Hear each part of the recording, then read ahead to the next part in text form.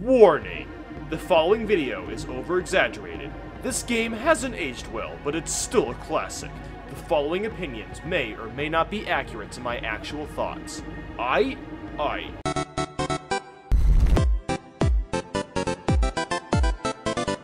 This game is overrated and hasn't aged well. When you're 5 years old, don't know what you're doing, and you run into the first Goomba. So I just beat Bowser, but instead of a princess, there's this mushroom guy saying she's in another castle. Are you freaking kidding me? This game is way too easy. The jumping mechanics are innovative but feel clunky. It takes too long to build up speed. You can't go backwards in a level. Mario only has one type of move and that's jumping. When you get hit with a fire flower, you downgrade all the way to small Mario. And speaking of power-ups, we only have three. What kind of idiot leaves a giant axe near a bridge? Bowser can be killed with fireballs, but yet breathes fire. Logic. I have never seen anyone swim like Mario does. What is he doing? Also, fireballs underwater. Pretty sure that doesn't work. Lakitu is so obnoxious. Since when were the Hammer Bros so difficult to kill? Ugh, like for this one, I swear it's impossible to not get hit unless you're Fire Mario. If you lose all your lives, you go all the way back to the beginning.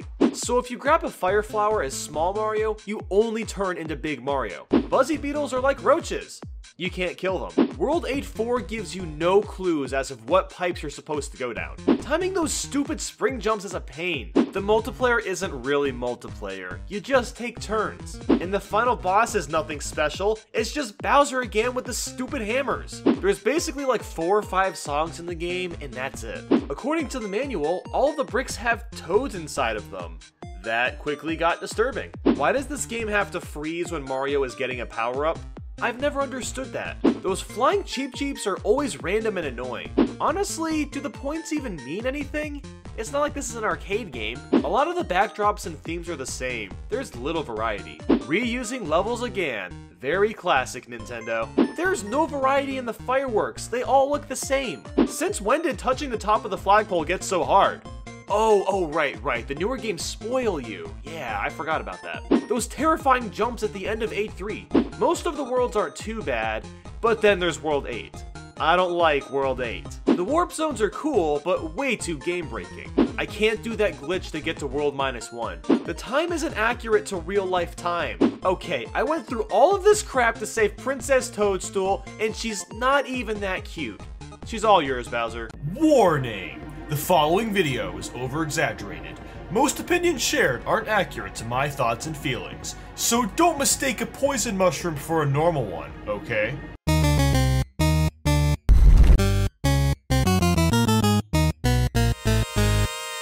Apparently, American gamers weren't good enough to play the real sequel to Super Mario Bros., so instead we got a reskin of Doki Doki Panic. So, this game is way harder than it needs to be.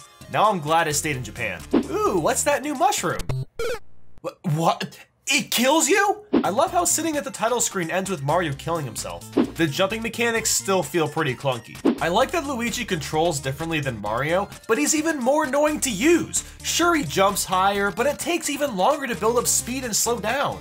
The plot hasn't changed at all. Peach is captured and Mario must save her. Why is it so difficult to grab this mushroom? They didn't bother updating the graphics at all. There's no new music, not even remixes. And you still can't walk backwards in a level. Why didn't they fix any of the first game's problems? It shouldn't be impossible to grab this fire flower. The platforms with the mushrooms look so tacky.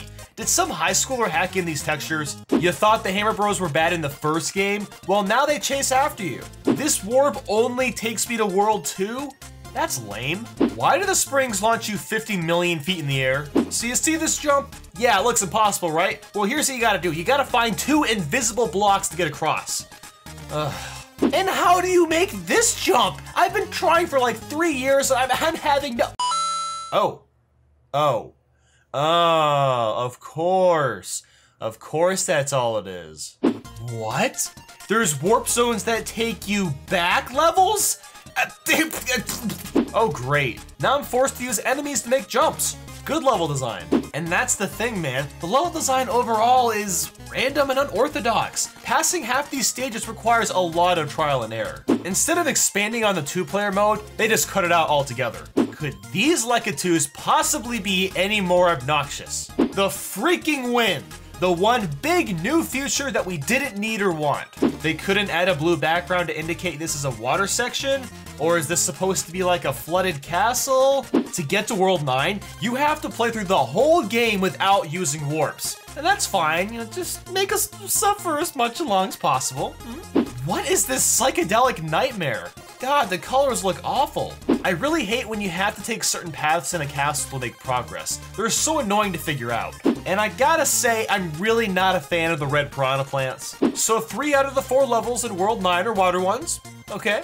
World C3. You got endless wind, endless springs, and the level just never seems to end. This final jump really sucks. Pieces paved with Kingdom Save, Haruta Mario, our only hero, that, that is not a good sounding rhyme, guys. It sounds terrible. I like how half this level has literally no enemies or obstacles to worry about. Am I the only one that really hates bloopers outside of the water? Do you want to know how to unlock worlds A through D? You have to beat this game eight times, count them eight times, without using any warps. Well, that tops a bunny turd ball on this shit Sunday. And you wanna know why that sucks so much? Because when you first hear about this game, you're just like, oh boy, I love the original, so this has to be fun. And then you start playing it, and after 10 minutes has passed, you realize that it's basically the same game with frustrating levels, unimproved mechanics, and one new power-up that just kills you. What a slap in the face. So here's the deal, guys. Don't trust this game, don't emulate it, don't search for it, don't mess with it, don't take it on a date, don't feed it, don't clean it, don't believe in it, and just, just, just don't play it! Warning. The following video is over-exaggerated most opinions shared aren't accurate to my thoughts and feelings, so don't throw vegetables at me, alright dude?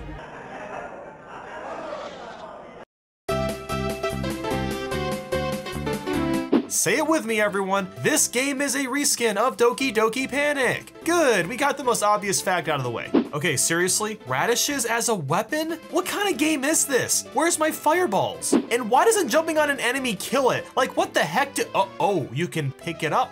Okay, that's actually kind of neat, not gonna lie. Phanto, just freaking Phanto. If you've ever played this game, you know how obnoxious he can be. Okay, seriously, what gender is Birdo? And why do we still not have an answer to this question? I mean, it's not like it really matters, just be as you as you can be, okay?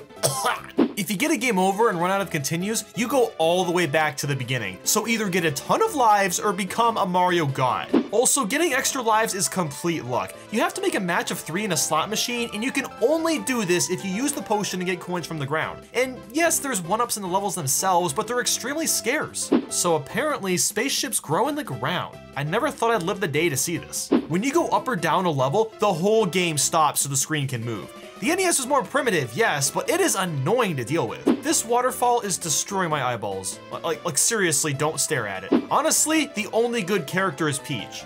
I shouldn't have said that. How the heck do I get across this freaking gap? Oh wait, I have to ride an egg.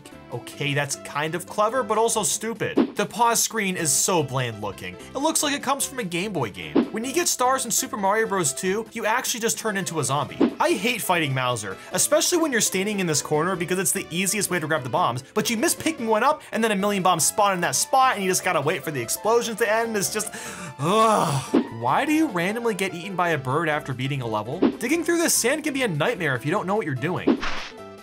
Oh, come on, a dead end? Are you serious? Would you guess that if you wanted the first mushroom in 2-3, you have to bring the potion all the way to the left of the level? How is anyone gonna know that since for all the mushrooms before the mushroom is right next to them? So touching the top of the whale's water spout is fine, but the water below hurts you? It's kinda hard to tell what's quicksand and what's just normal ground. When you throw an enemy at the ground, it doesn't die. You have to collide it with another enemy. Oh great, now I'm getting nuked by some birds. There's no two-player. You can't even take turns playing through the game. I applaud Mario Bros 2 for having more unique bosses than just Bowser eight times in a row, but why am I fighting Bowser twice? And same goes for Triclyde too. Okay, I get the background was going for like a sunset look, but it's just pink. I mean, I can make that in Photoshop. You just select pink, click the bucket, and bam! There's no shades of color or anything, and it just looks janky. Also, ice physics. Nobody likes ice physics. So Peach has blonde hair in the artwork, but in the game it's brown. So which is it, Nintendo? Maybe she's secretly Daisy.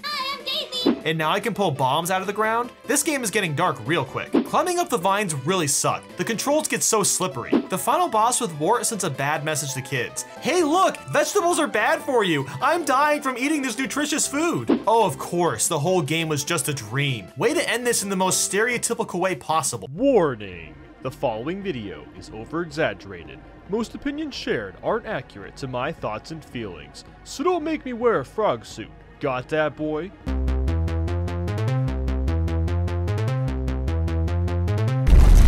Those people that say Mario 3 is better than Mario World, they're just wrong. I'm pretty sure cacti can't bounce around like that. Why does the mushroom always seem to go in the opposite direction? All the Koopa kids are way too easy. Well, except Wendy, but still. And that wasn't even talking about Boom Boom. Apparently he can like fly and stuff, but you'll never see that because he's gone in like three seconds. It's awesome that there's a hammer suit and all, but good luck hitting anything with that arch. And also, why is the Goomba shoe in like one level and that's it? So are the Boos wearing mascara or is it like one of those bandit mask things? Maybe it's just the shadow of their giant eyebrows. I, I have no idea. It would have been nice if I could turn on and off those stats at the bottom. It just makes the game screen smaller. You know you're having a bad day when the goddamn sun is out to get you. And it gets worse. Next thing you know, the water is rising and some giant fish wants to eat you in one bite. Give the guy a break. What's so special about the giant world? Everything is just giant. Yeah, that's really clever. Can I get a world where everything is just yellow next? 8-1. Like, seriously, just look at this. Look at it. Your princess is in another castle. Are you serious? I spent all of that time flying through hills and deserts and giant pipes and literally avoiding the sun, and I saved the wrong girl. Just kidding. Honestly, nobody even used the statue with Tanuki Mario. It doesn't serve any meaningful purpose. Why isn't there a save feature? This is a long game, man. Most people aren't gonna finish this in one sitting. But there's warp whistles, you say. Yeah, you have to know to kneel on this random block for like 6 seconds and then run to the end, because that's totally obvious. Why the heck are radioactive waffles being used as obstacles in the castle? I mean, I don't know if they're actually radioactive, but if they were radioactive, wouldn't that mean that everyone, including Bowser, would get sick from radiation poisoning? I can't line up the freaking pictures. This game is rigged. I want my money back. There's no way I'm gonna memorize all of these cards. And even if I memorized a few, I'll forget what they were the next time I see them. So Peach apparently gave me some jewel, but I have no idea what it even does. I don't seem to be more powerful. I have to wait for the shell to break all these blocks. I don't like waiting. Ugh, the background of this castle is really eye straining. It looks like actual barf, but in black and white. Lakitu actually learned how to throw spinies, and I don't like that. Oh, those guys are kinda cute. What the? They puke spikes? Okay, okay then, alright, yep. Pick a box. Its contents will help you on your way. Well, don't mind if I do. This is why I have trust issues. What on earth is the king doing to his chair? now, who else out there uses the P-Wing at 5'9 to avoid this entire level? Yes? No? A anybody out there? Just one of you in the comments, just one of you tell me that you use the P-Wing at 5'9 to avoid the entire level, please.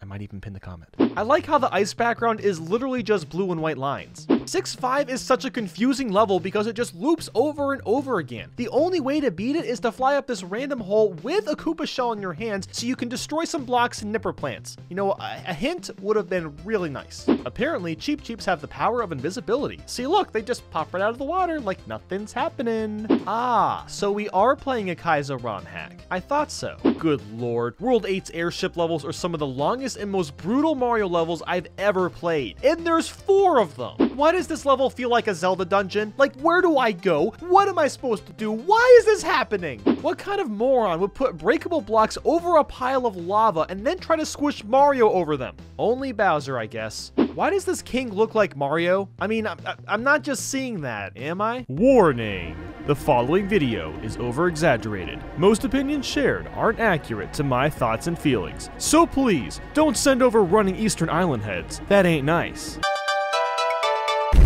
This game is way too short. There's only 12 levels. Why is everything so tiny? This is on a Game Boy, where the screen is already small. Mario's physics are so wonky. The jumps have inconsistent momentum, and when you fall, you fall like a brick. The fireballs are horrible. You can only throw one at a time, and they bounce around for like five years if you don't hit an enemy. Why on earth is the star music the can-can? I like how the Goombas just look like skeleton heads now. The Koopa Troopas are puny. It's so easy to take a hit because you don't land on just the right pixel. Also, they explode when you touch them. Why? Oh my god, you can't go backwards! If you get a game over, you start all over again, unless you've scored 100,000 points. Then you can get one continue. Wow, what a deal. Oh, okay, well, that was a pretty short game. Guess I already saved Princess Daisy? Oh, alright. What? Oh, come on! Okay, there we go. Now I think I saved her. Unless she's... Oh my freaking guy! Okay, Okay, this has to be the real Daisy. I, I, I don't think I don't. Why would there be so many fakes of the same? Why? You know how when you finish a Mario level and get to slide down the flagpole, it's so cool, isn't it? Well, in Mario Land, Mario just walks through a door and that's it. Every boss is way too easy. For the first guy, you literally just jump over him. The second one, you just hold right and can avoid him entirely. The third one, you can just damage boost through. And the final boss has a really easy pattern. Why are the one-ups little hearts? Like, I know that's nitpicky, but come on. I'm playing a Mario game, not Zelda. So I love playing with the submarine in the plane. They're pretty fun levels, and it's a good change of pace. But when you get hit, why does the vehicle shrink with you? Look at how giant these spiders are. Why is Mario jumping on humans? That just ain't right. Man, I can't get these coins. The gap is too small. Okay.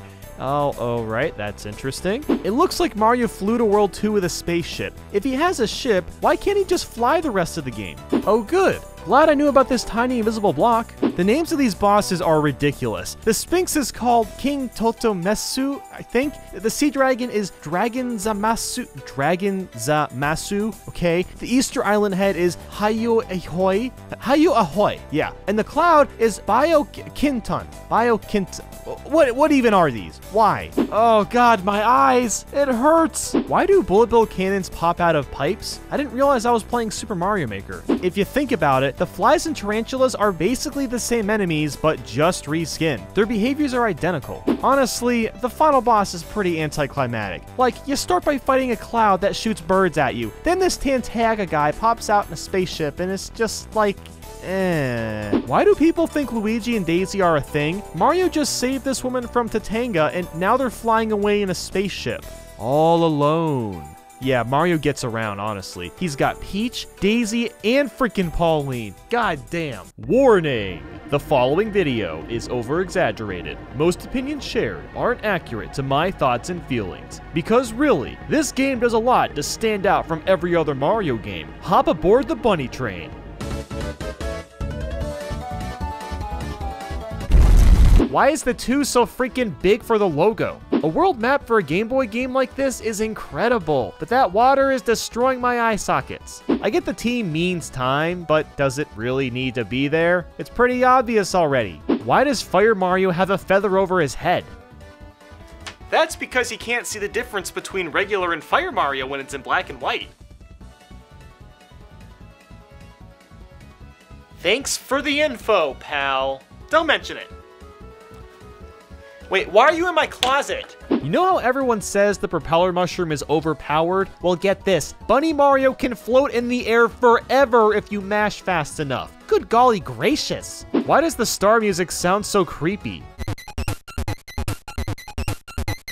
I've always wanted to play a level inside Mario's crotch. If you game over, you see Mario's literal gravestone. Well, okay, not really, but it kind of looks like it. The crane is grabbing Mario's nose. Oh, and now it's grabbing his ear. Oh, God, that's gotta hurt. You may not believe this, but I actually own this stage. See, there's my envy initials right up there. Where have I seen this attack pattern? It's strikingly familiar. Damn, Sonic has seen better days, let me tell you. Is that a cowfish with horns? God, I love this game. This is the most basic auto-scroller ever. There's literally no enemies and the jumps are so easy. For this bird boss, you can literally just stand in one spot and just float over his head for like a 5 second knockout. Honestly, all the bosses are way too easy. Let me get this straight. You get eaten by this Koopa and go inside to find a whale, which means this turtle ate a whale. The fire! Why can you only spin jump when you're big, Mario? Mario shouldn't be throwing fireballs in space as it's much more dangerous. Fire in space can start at lower degrees and can last for much longer. Like, look, this is just science that I googled in two minutes. You should have done the same thing, Mario. The first space level, I could only jump higher than normal, but the second one, I can basically fly around. I guess the law of physics don't exist in Spaceland.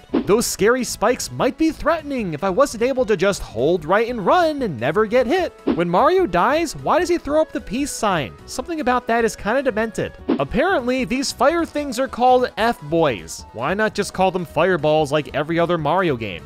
Well, not much else to say about Mario Land 2. But we aren't done there, because we haven't talked about the Mario Kirby educational video which references Super Mario Land 2. What the heck are you talking about?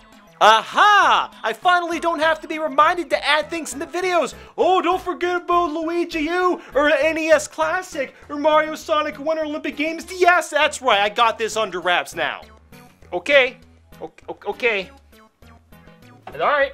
So this is all in Japanese and I have no idea what's going on. So I'm gonna try to piece together this story. Peach has some letters she gives to Mario, and the letter is about Wario. So then Mario takes a cart and crashes into the nearest farm so he can eat a carrot and become a bunny. Then he finds some guy flying a plane that's wearing a mask for some reason, but lo and behold, it's actually Wario! Yeah, Mario couldn't see through his mask, which is pretty pathetic if you ask me, but Mario jumps up and literally punches the freaking plane out of the air and it crashes. Then Mario goes back to Peach and she's reading some books out of a suitcase like nothing happened. The end. This is some deep lore. Warning! The following video is over exaggerated. Most opinions shared aren't accurate to my thoughts and feelings, so don't choke me with a big yellow cape. Sound Gucci? Those people that say Mario World is better than Mario 3, they're just wrong. Mario straight up punches Yoshi just so he can eat stuff. He uses him for an extra jump. The animal abuse, man. Oh, come on, Yash. You're not gonna go in the ghost house with me? Wimp, why did they get rid of so many power-ups? Like, where's the Tanuki suit, or frog suit, or hammer suit? Uh, why am I randomly fighting a set of four rhinos? The Koopalings are still way too easy. No, I don't want to play football. Leave me alone. The ghost levels are cool, but holy crap, they can be so freaking confusing. The Rip Van Fish won't stop stalking me. Like, look, I know Mario's got that thick booty, but he's not your type. Is there any reason the Goombas don't look like Goombas? If you don't find any of the alternate exits in the Forest of Illusion, you will literally be stuck in a circle with nowhere to go. This is gonna be nitpicky, but look how far off the spacing of the words are. I could park an 18-wheeler in between we and fine. I know some people like the controls, but I just feel like I'm slipping and sliding all over the place. The top secret area is so broken. It's like a Toad House from Mario 3 or the new Super Mario Bros. games, but it never disappears. So if you just want to go ahead and grind out a billion lives with two OP capes, go for it. Those goddamn rainbow shell Koopas that you can't stomp. I mean, Yoshi can eat them, but still. They call themselves the Amazing Flying Hammer Bros, and they don't even fly! The flying blocks do all the work. What the hell was the castle made out of? Sticks? You know, I don't think they added enough paratroopas. Clearly, it's too easy.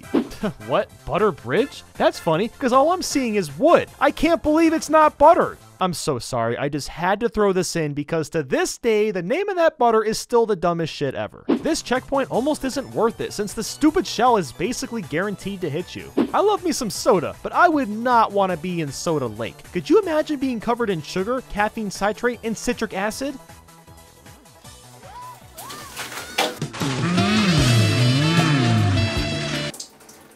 Yeah, it sucks. Nope, Mario did not just swim up a waterfall. No. Apparently, picking up a block underwater lets you swim faster. Interesting physics going on there. Mario's fireballs aren't even intimidating. They look like orange gumballs. Oh, that's obvious. Swim through the wall to find the secret path. I mean, duh. And then there's the exit where you make that huge blind jump. I mean, gosh, try not to be so obvious, game. So I guess the programmers thought straight platforms were really boring one day.